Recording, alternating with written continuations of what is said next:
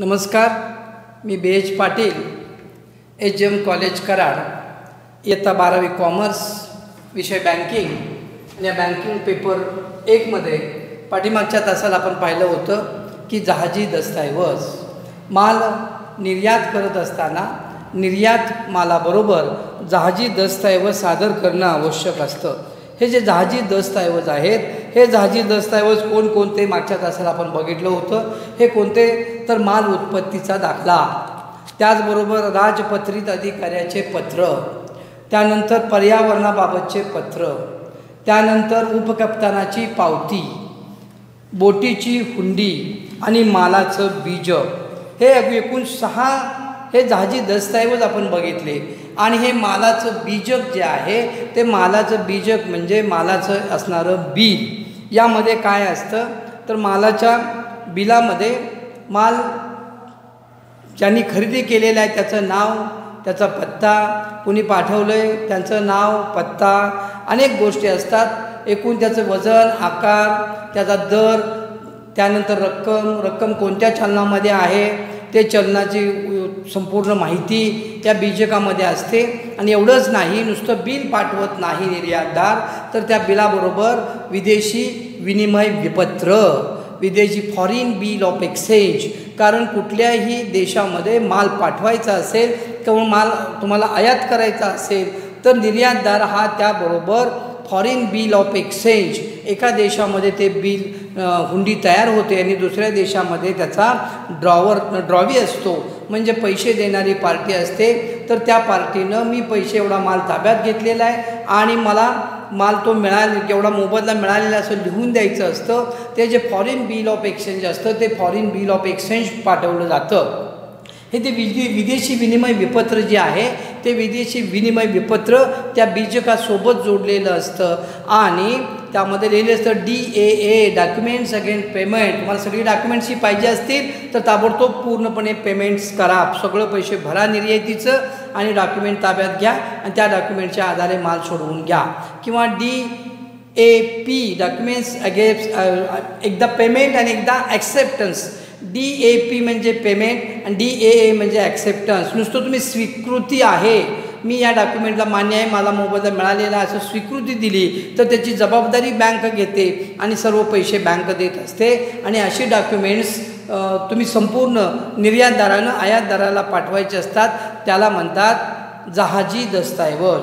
दहा मार्काला प्रश्न विचारलेला आहे की जहाजी दस्तऐवज विदेशी व्यापारातील जहाजी दस्तऐवज सविस्तर स्पष्ट करा. आणि दोन मार्काला पण कधी कधी विचारलेला आहे की कोणतेही दोन जहाजी दस्तऐवज सविस्तर स्पष्ट करा. म्हणजे एक गोष्ट लक्षात घ्या जहाजी दस्तऐवज कोणते आणि त्यामध्ये काय माहिती असते हे डिटेल्स तुम्हाला माहीत असणं आवश्यक आहे. पुढचा जो भाग आहे त्याचा तो म्हणजे संवेष्टन पथ किंवा निर्यात पूर्व कर्ज पुरवठा निर्यात पूर्व किंवा निर्यातीनंतरचा कर्ज पुरवठा त्याला संवेष्टन पत असे म्हणतात. संवेष्टन म्हणजे पॅकिंग ते नुसतं बांधणी या शब्दापुरतं मर्यादित नसून एखादी व्यक्ती मालाचा निर्यात ज्यावेळी दुसऱ्या देशाला करणार असते त्यावेळी त्या निर्यातदाराला मदतीची गरज असते. म्हणजे सरकार मदत करतं केंद्र सरकार मदत करतं वाणिज्य मंडळ मदत करतं हे सगळे जरी मदत करत असतील तरी बँकाचं महत्त्वाचं काम आहे. ते म्हणजे निर्यातदाराला पैशाचा पुरवठा करणं. पतपुरवठा करणं हे सर्वात महत्त्वाचं कार्य आहे. आणि हा पतपुरवठा कशा कशासाठी केला जातो तेही महत्त्वाचं आहे. म्हणजे आंतरराष्ट्रीय व्यापारामध्ये निर्यात व्यापाराला महत्त्वाचं स्थान आहे. प्रत्येक देश आपली निर्यात वाढावी यासाठी प्रयत्न करत असतो आणि नुसता प्रयत्न करत नाही तर निर्यातीमध्ये आपली वस्तू इतर देशापेक्षा अधिक कशी चांगली असेल याकडं सर्व देशाचं लक्ष असतं. कारण आंतरराष्ट्रीय व्यापारामध्ये तुमच्या वस्तूला जसं किंमत आहे तसंच त्याबरोबर त्याच्या क्वालिटीलाही किंमत असते. आणि म्हणून क्वालिटी चांगली देणं आवश्यक असतं. कशा कशाचं निर्यातदाराला कर्ज लागतं? किंवा निर्यातदार काय तर निर्यातदाराला अनेक गोष्टी लागतात. एखाद्या मालाचा कच्चा आदेश मिळाला मग सरकारची परवानगी काढली मग विदेशी चलनाची तयारी केली मग पक्का आदेश मिळाला आणि मग माल पाठवायच्या तयारीला लागायचं. माल पाठवायच्या तयारीला लागायचं म्हणजे काय? माल निर्माण केला पाहिजे. माल ज्यावेळी आपण मालाची निर्यात करतो त्यावेळी माल मोठ्या प्रमाणावर अनेक टन माल तयार करावा लागतो. आणि असा माल जर तयार करायचा असेल तर तो अगोदर तयार करून चालत नाही. कारण बऱ्याचशा मालाला एक्सपायरी डेट असते.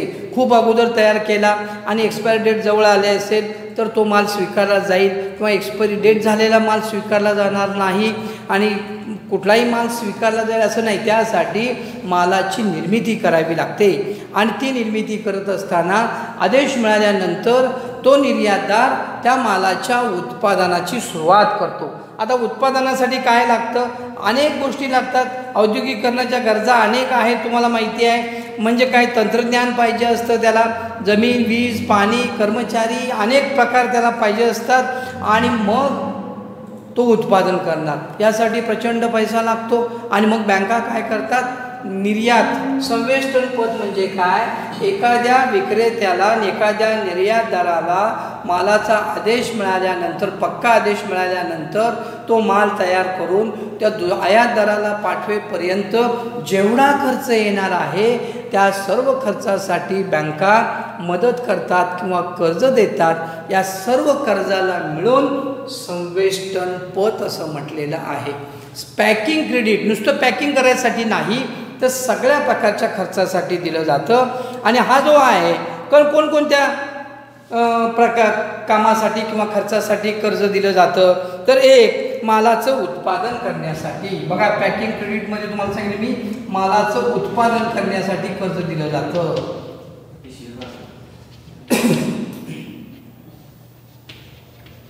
मालाचं उत्पादन करण्यासाठी. हे मालाचं उत्पादन करण्यासाठी जे कर्ज दिलं जातं यामध्ये काय असतं? तर मालाचं उत्पादन रॉ मटेरियल खरेदी करायची असेल तर रॉ मटेरियल खरेदी केलं पाहिजे. रॉ मटेरियल त्या कंपनीच्या दारापर्यंत आलं पाहिजे. यासाठी संपूर्ण खर्च जो येतो तो खर्च बँका कर्ज म्हणून देत असतात. आणि मग मालाचं उत्पादन जर निर्यातकाला करायचं असेल तर तिथून त्याची सुरुवात असते. या निर्यातनाच्या वैशिष्ट्यामध्ये काय केंद्र सरकार मदत करतं मी सांगितलं. वाणिज्य मंडळ मदत करतं आणि बँका मदत करतात. मग बँकाचं महत्त्वाचं काम काय? पैशाचा पुरवठा करणं कर्जाचा पुरवठा करणं कारण उत्पादनासाठी मोठ्या प्रमाणावर पैसा लागतो. दुसऱ्या देशाला माल विकायचा असेल तर क्वालिटीचा माल लागतो. आणि क्वालिटीचा माल जर उत्पादन करायचा असेल तर त्याचा खर्चही जास्त असतो. आणि म्हणून त्याचा खर्च सर्व आणि इतर खर्च हा सर्व खर्च भागवण्यासाठी बँका मदत करतात. त्यानंतर मालाचा विमा घेण्यासाठी मी सांगितलं निर्यात व्यापारामध्ये विमा हा महत्त्वाचा आहे. विमा का तयार झालेला माल जो आहे तो तयार झालेला माल दुसऱ्या देशातल्या व्यापाऱ्याच्या दारापर्यंत त्याच्या व्यवसायापर्यंत पोचवेपर्यंत तो माल सुरक्षित राहिला पाहिजे. तो जर माल सुरक्षित राहिला नाही त्याला धोका पोचला तर निर्यातकाला किंवा आयातकाला त्याचा फटका बसू शकतो. आणि या फटक्यातून सावरण्यासाठी विमा घ्यावा लागतो. आणि मग विम्याची रक्कम भरावी लागते. परदेशात माल निघताना अनेक धोके असतात. त्या धोक्यापासून संरक्षण देण्यासाठी विमा कंपन्या पुढे येतात. आणि मग विमा कंपन्याचाही हप्ता मोठा असतो. आणि त्यासाठी त्याला पैशाची आवश्यकता असते. म्हणून बँका काय करतात? मालाचा विमा घेण्यासाठी सुद्धा कर्ज पुरवठा करतात. आणि यानंतर मग सर्वात मग महत्त्वाचं आहे मग मालाची बांधणी वाहतूक इत्यादी गोष्टी आहेत. म्हणजे संवेष्टन पदमध्ये मालाची बांधणी तिसरा मुद्दा. आता इथं पद आणि बांध बांधणी आणि संवेष्टन हे एकच आहे. मालाची बांधणी. बांधणी म्हणजे काय? मालाचं पॅकिंग करणं. देशातल्या देशात माल विकत असताना साधं पॅकिंग असलं तरी चालतं. पण आंतरराष्ट्रीय बाजारपेठेमध्ये मालाची विक्री करायची असेल तर मालाच्या क्वालिटी एवढंच बांधणीला महत्त्व आहे. का सांगा?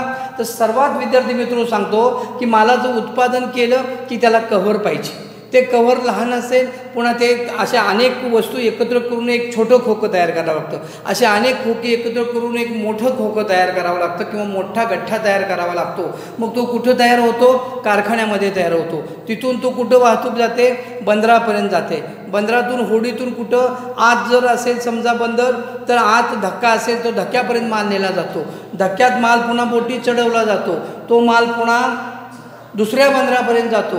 तिथं माल उतरला जातो.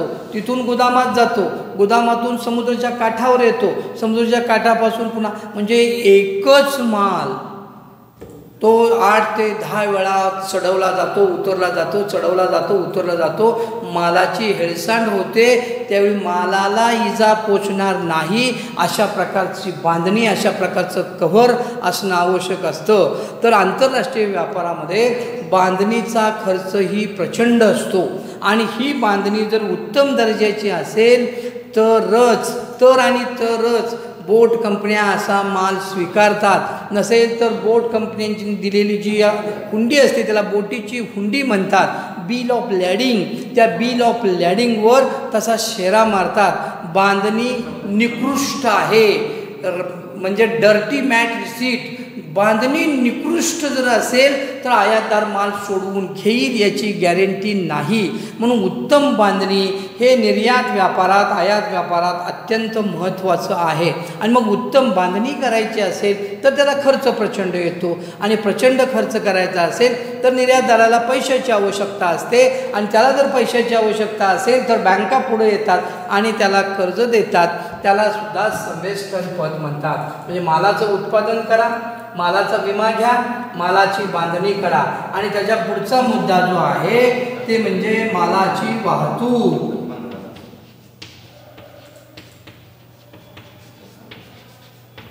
आता वाहतूक. एका देशातून दुसऱ्या देशामध्ये माल पोचवत असताना मालाची वाहतूक करावी लागते. कुठून? अगोदर देशांतर्गत वाहतूक करावी लागते. कारखान्यात माल तयार झाला असेल किंवा शेतमाल असेल जिथं असेल तुमचा माल तिथून ते ज्या शहरामध्ये तुम्ही माल तो बंदर आहे तिथंपर्यंत पोचवावा लागतो. तिथून मी सांगितलं तुम्हाला तो गोदामात न्यावा लागतो.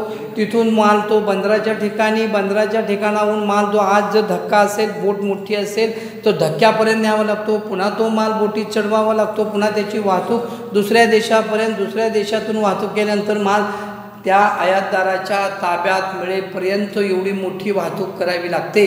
या सर्व वाहतुकीचा खर्च कुणी द्यायचा? आयातदारानं द्यायचा की निर्यातदारानं द्यायचा? हे आयातदार आणि निर्यातदार यांच्यामध्ये जो करार होतो त्या करारात तसं नमूद केलेलं असतं. जर तो निर्यातदारानं खर्च करायचा असेल तर निर्यातदाराला अशा प्रकारचा सर्व खर्च करावा लागतो आणि मग त्याला तेवढी रक्कम जवळ असणं आवश्यक आहे. आणि म्हणून निर्यातदाराला बँका कर्ज देतात. कशाच कशासाठी? उत्पादन करण्यासाठी देतात विमा घेण्यासाठी देतात मालाची बांधणी करण्यासाठी देतात मालाची वाहतूक करण्यासाठी देतात. आणि या सर्व प्रकारच्या कामासाठी बँकेनं जे निर्यातदाराला कर्ज दिलेलं असतं या कर्जाला म्हणतात संवेष्टन पद संवेष्टन पत म्हणजेच पॅकिंग क्रेडिट तुम्हाला बऱ्याच वेळेला दहा मार्काला असा मोठा प्रश्न विचारला आहे पॅकिंग क्रेडिट म्हणजे काय सांगून? पॅकिंग क्रेडिटचे सव्वीस टप्पे स्पष्ट करा. किंवा दोन मार्काला विचारलेला आहे. पॅकिंग क्रेडिट किंवा संवेष्टन पत तर तेही आपणाला पा दहा मार्काला विचारलं तरी त्याचं उत्तर लिहिता आलं पाहिजे.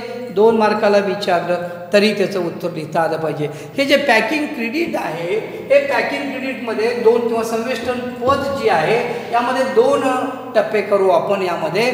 म्हणजे निर्यात पूर्व निर्यात पूर्व कर्ज पुरवठा. निर्यात पूर्व आणि मग निर्यातीनंतर. आता इकडं घेऊ दुसरा. याला जर आपण अ म्हणलं तर याला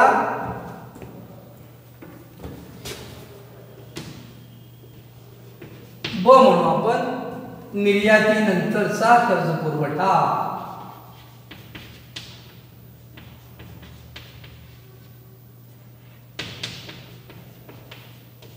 निर्यातीनंतरचा कर्ज पुरवठा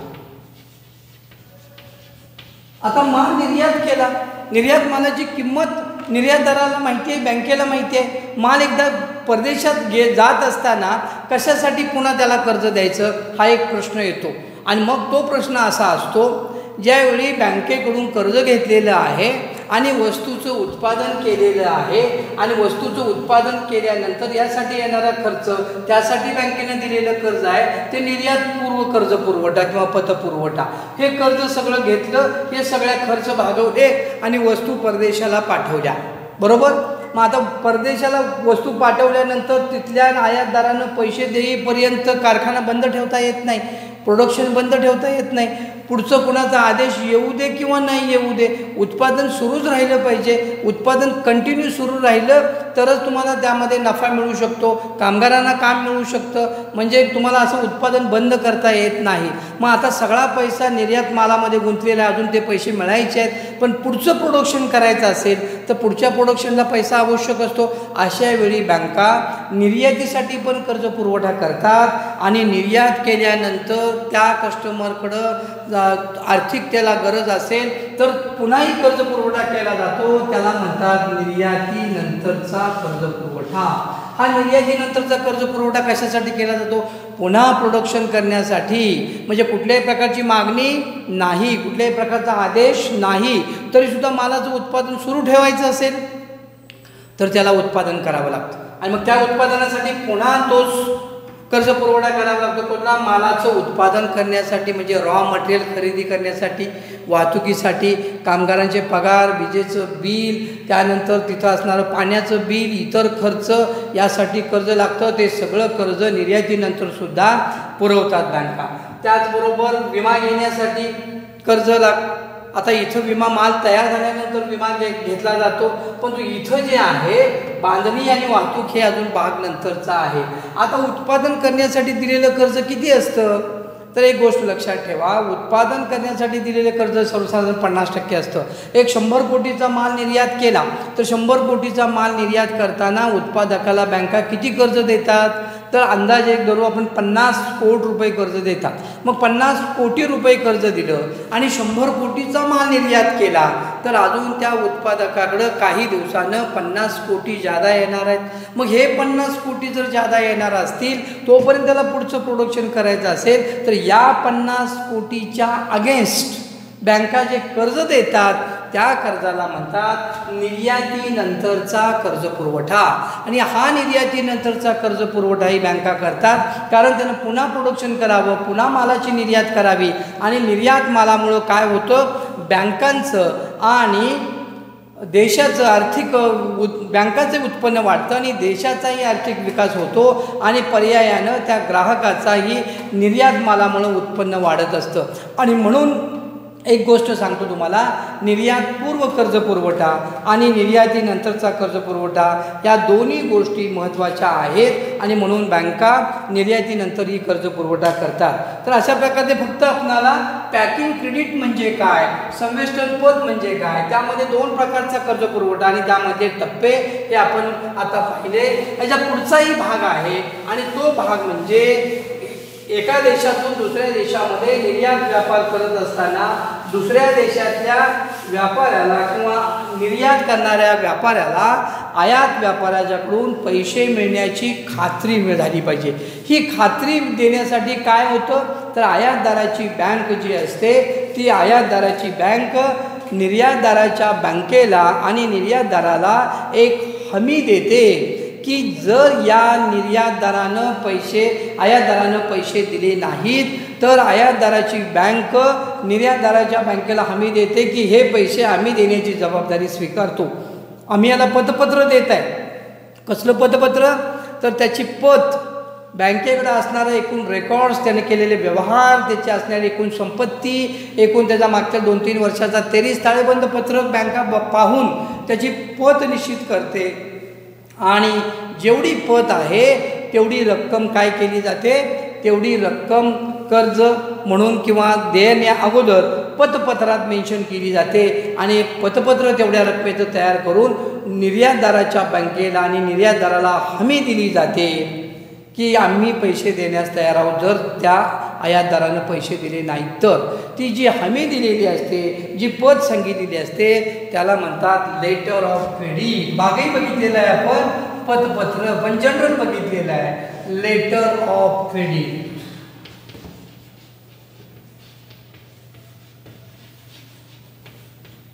हे ते लेटर ऑफ क्रेडिट आहे किंवा पतपत्र जे आहे ते पतपत्र कशासाठी लागतं? तर आयातदाराची पत सांगण्यासाठी. आयातदारानं पैसे दिले नाही तर त्याऐवजी आम्ही पैसे तुम्हाला देऊ हे सांगण्यासाठीचं पत्र म्हणजे लेटर ऑफ क्रेडिट मग हे पतपत्र कसं असतं? विदेशी व्यापारात आयातदार व निर्यातदार दोन वेगवेगळ्या देशामध्ये असतात आपल्याला माहिती आहे. आणि मग दोन वेगवेगळ्या देशातले जर असतील तर एकमेकाची ओळख नसते. अगोदर पैसे भरले तर माल मिळण्याची खात्री नसते. अगोदर माल पा म्हणजे अगोदर माल पाठवला तर पैसे मिळण्याची खात्री नसते. या दोन्हीचा संगम सुरेख संगम आयातदार आणि निर्यातदार यांचा होण्यासाठी जे पत्र असतं त्याला पतपत्र म्हणतात. आणि मग हे पतपत्राचे चार पक्ष आहेत. तुम्हाला मी सांगितलं पतपत्राचे चार पक्ष मागच्याही तासाला सांगितलं होतं. कोणते? आयातदार किंवा करता म्हणतो त्याला आपण. आयातदार किंवा करता किंवा खरेदी करणारा हा एक पतपत्राचा पक्ष असतो. दुसरा आयातदाराची किंवा कर्त्याची बँक. म्हणजे हा दुसरा आयातदार आयातदाराची बँक. हा दुसरा पक्ष असतो. तिसरा निर्यातदाराची बँक किंवा मध्यस्थ बँक म्हणतात. निर्यात जो माल करणार आहे त्याची बँक. आणि चौथा निर्यातदार. निर्यातदार म्हणजे हिताधिकारी बेनिफिशरी ज्याचं हित निर्यातीमध्ये ज्याचं जास्त आहे त्याला निर्यातदाराचं हित म्हणून त्याला हिताधिकारी असं म्हटलेलं आहे. असे चार पार्टीज आपण पहिल्या मागच्या तासाला या पतपत्राच्या. या पतपत्राच्या चार पार्टी पाहिल्यानंतर मग आपल्याला काय करायचं हे पतपत्र म्हणजे एक प्रकारचंच असतं का? तर नाही. चार पार्टीज बघितल्यानंतर मग हे पतपत्राचे एकूण आठ ते नऊ प्रकार आहेत. आता पतपत्र नऊ प्रकारे लागतं का? तर हो लागतं. वेगवेगळ्या प्रकारचं पतपत्र असतं. ते पतपत्र त्या त्या कारणापुरतं त्या त्या निर्यातीपुरतं किंवा त्या त्या देशातल्या विविध प्रकार जे आहेत त्या त्या गोष्टीपुरतं मर्यादित असतं. आणि म्हणून त्याला पतपत्राचे अनेक प्रकार केलेले आहेत. हे जे नऊ प्रकार आहेत त्यातला आपण आता आज एक दोनच प्रकार बघणार आहोत. त्यामध्ये म्हणजे सामान्य किंवा सर्वसाधारण पतपत्र. सामान्य किंवा सर्वसाधारण. पतपत्र. जनरल लेटर ऑफ क्रेडिट किंवा ओपन ओपन एल सी म्हणतात त्याला. जनरल लेटर ऑफ क्रेडिट किंवा open L C L C म्हणजे लेटर ऑफ क्रेडिट हे जे आहे ज्यावेळी पतपत्र उघडलं जातं त्यावेळी किंवा तयार केलं जातं ते पतपत्र विदेशातील कोणत्याही बँकेकडे पतपत्र पाठवलं जातं. त्याला सामान्य पतपत्र म्हणतात. म्हणजे काय? इथून माल आपणाला अमेरिकेला पाठवायचा आहे भारतातला निर्यातदार आहे आणि तो अमेरिकेला माल पाठवायचा आहे अमेरिकेला जर माल पाठवायचा असेल तर त्या आयातदार अमेरिकेतला आयातदार आहे. त्याचं खातं कोणत्या बँकेत आहे? सिटी बँकेत आहे समजा. सिटी बँकेत आहे. मग त्याला सिटी बँकेचंच पतपत्र पाठवलं पाहिजे असं नाही. तर त्या देशामध्ये असणाऱ्या कोणत्याही बँकेच्या नावानं त्यामध्ये आयातदाराचं नाव निर्यातदाराचं नाव आयातदाराच्या बँकेचं नाव असणारच. पण निर्यातदाराच्या बँकेचं नाव जे आहे ते त्या देशातल्या कोणत्याही बँकेच्या नावानं लेटर ऑफ क्रेडिट पाठवलं तर त्या लेटर ऑफ क्रेडिटला त्या पतपत्राला सामान्य किंवा सर्वसाधारण पतपत्र असे म्हणतात. म्हणजे अमेरिकेच्या आयातदाराला सिटी बँकेमध्ये खातं आहे. सिटी बँकेमध्ये पतपत्र पाठवलं ना त्या बँकेवर पतपत्र काढलं नाही तर फेडरल बँकेवर काढलेलं असेल तर फेडरल बँकेवर म्हणजे त्या देशातल्या कुठल्याही बँकेवर तर असं त्याला त्या पतपत्राला सामान्य पतपत्र म्हणतात. या मध्यस्थी सामान्य पतपत्र जे असतं त्यामध्ये जे मध्यस्थी बँक असते म्हणून त्याला मध्यस्थी शब्द वापरला आहे ती निर्यात आयातदाराची बँक आहे का? नाही. पण आयातदाराच्या देशातील बँक आहे. ती मध्यस्थीचं काम करते. काय करते? तर ते पतपत्र घेते त्याचं मध्यस्थी करते. मग त्या आयातदाराची कुठली बँक आहे? सिटी बँक आहे. त्या सिटी बँकेला पाठवते आणि मग सिटी बँकेला सिटी बँकेला जे पतपत्र असतं ते सिटी बँकेचं पतपत्र किंवा आपल्यातला आयातदार असेल तर तिकडच्या निर्यातदाराची सिटी बँक असेल तर त्या सिटी बँकेला ते फेडरल बँकेचं पत्र जातं आणि ती मध्यस्थी फेडरल बँक करते. म्हणजे बऱ्याच वेळा असं होतं की मध्यस्थी बँक वेगळी असते आणि निर्यात आयातदाराची बँक वेगळी असते निर्यातदाराची बँक वेगळी असते. आणि म्हणून जो आयातदार पतपत्र पाठवतो निर्यातदाराला निर्यातदाराच्या बँकेकडे जो पतपत्र पाठवतो त्या पतपत्राला कोणत्याही देश त्या देशातल्या कोणत्याही बँकेवर काढलेलं असेल तर त्याला सामान्य किंवा सर्वसाधारण पतपत्र असे म्हणतात. आणि दुसरा प्रकार त्यामधला विशिष्ट पतपत्र. दोन दोन विशिष्ट पतपत्र. विशिष्ट पतपत्र म्हणजे काय? तर आयातदाराची बँक निर्यातदारानं सुचवलेल्या बँकेकडं पतपत्र पाठवते आणि त्याच बँकेच्या नावानं ते पतपत्र तयार केलेलं असतं. त्याला विशिष्ट पतपत्र म्हणतात. Special letter of credit special L C विशिष्ट पदपत्र म्हणजे काय? आता मी तुम्हाला सांगितलं आयातदार समजा निर्यातदार हा अमेरिकेचा आहे आणि तो तो सिटी बँकेचा मेंबर आहे किंवा सिटी बँकेचा ग्राहक आहे त्यानं भारतातल्या आयातदाराला पतपत्र तयार करायला सांगितलं. भारतातल्या आयातदारा स्टेट बँक ऑफ इंडियाचा आहे. तर स्टेट बँक ऑफ इंडिया पतपत्र काढणार सिटी बँकेवर आता फेडरल बँकेवर काढणार नाही. सिटी बँकेवर पतपत्र काढणार. आणि जर निर्यातदारानं नेमून दिलेल्या बँकेवर पतपत्र काढलं आयातदाराच्या बँकेनं तर ते पतपत्र म्हणजे विशिष्ट पतपत्र. कारण निर्यातदारानं ठरवून दिलेल्या विशिष्ट बँकेवरच पतपत्र असतं. त्या बँकेमध्ये त्याचं खातं असतं आणि त्या बँकेशी तो व्यवहार करतो. अशा बँकेवर काढलेलं पतपत्र म्हणजे विशिष्ट पतपत्र असतं. आणि विशिष्ट पतपत्र जर असेल तर निर्यातदाराला रक्कम त्याच्या स्वतःच्या खात्यात जमा होण्यास बिलकुल अडचण असत. नाही. अशा वेळी जे पतपत्र वापरलं जातं त्याला विशिष्ट पतपत्र असे म्हणतात. हे जे पतपत्र आहेत हे दोनच पतपत्र आज आपण बघणार आहोत. उरलेली जे सहा सात पतपत्राचे प्रकार आहेत ते आपण नंतरच्या तासाला बघणार आहोत. परीक्षेमध्ये तुम्हाला विचारलेलं आहे पतपत्राचे विविध प्रकार सविस्तर स्पष्ट करा किंवा कोणतेही पाच प्रकार सविस्तर स्पष्ट करा आणि त्याला दहा मार्क दिलेली आहेत बोर्डाच्या परीक्षेमध्ये. तर विद्यार्थी मित्र हो हे बारकाईनं अभ्यास करायला पाहिजे. आज आपण इथंच थांबतोय. उद्याच्या तासाला पतपत्राचे राहिलेले प्रकार पाहणार आहोत. Thank you very much